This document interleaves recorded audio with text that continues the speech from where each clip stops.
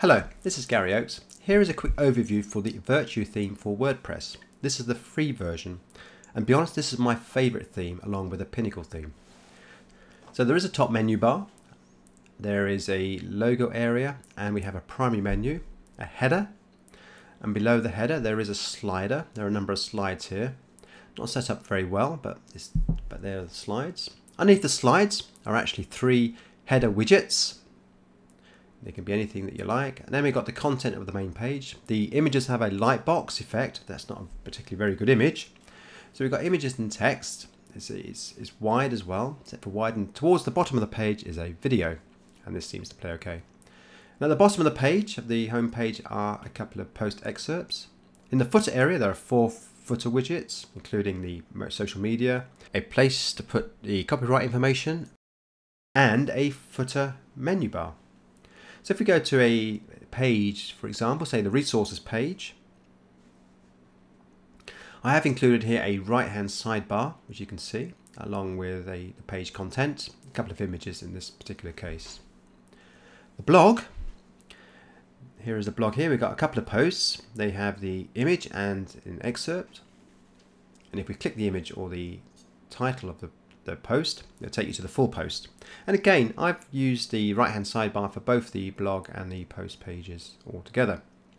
So that is a quick overview of how it might look. Let's look behind the scenes and go to the dashboard now. So select appearance and customize and we go behind the scenes to customize this theme. And on the right hand side we have the a sort of window showing any changes that we make. So the first one is the actual main settings.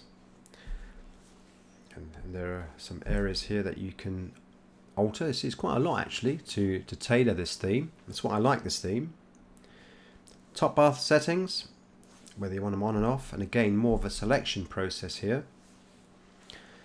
The home slider. Now, it advises here that you install the Virtue toolkit plugin, which I suggest you do, and we'll come on to this a bit later. You've got the layout, the homepage layout. Shop settings. This is useful if you've installed the WooCommerce plugin, which again this will accept, which is really useful. Some basic styling.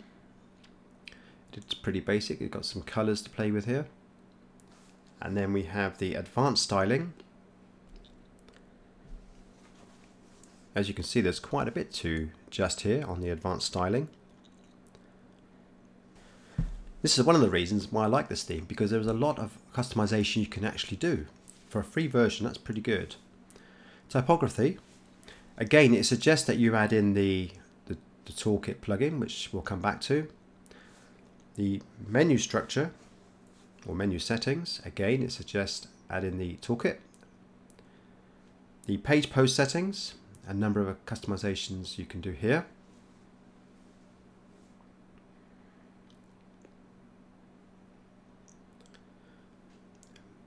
Miscellaneous settings. A couple of items here you can uh, to, to adjust. Advanced settings. This is your customization for CSS. You can put your code in there accordingly. Site identity.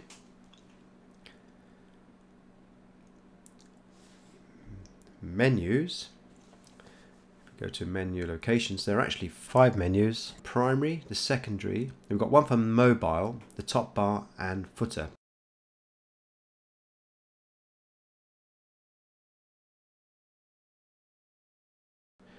Right, widgets, there are four footer widget areas as shown here and you can tailor these as you would like. So you can just go into one of those and add the various widgets for each of the footers and the static front page which is fairly standard for a WordPress theme. Now if we come out of this and we now go to theme options, this is what now becomes available once you upload the Toolkit plugin. And now you can see a lot more.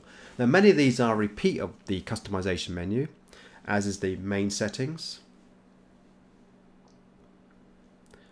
These were covered in the customization settings, the top bar menus or settings. Home slider. Now this is advanced, so this is where you actually add the sliders to your theme.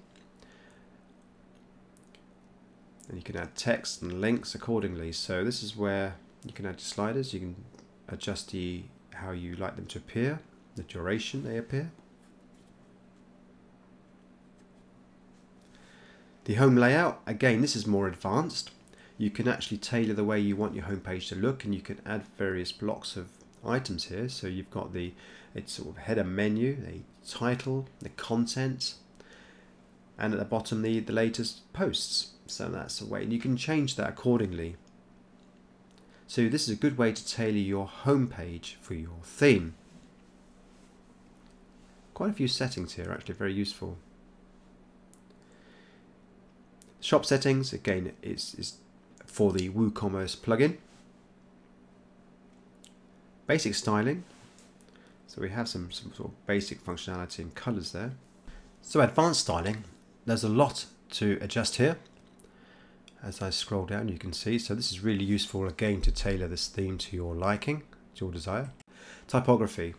Here you can uh, look at your colors for your headings and your fonts. Not just the colors, but the size as well. So this is really useful to help customize your theme.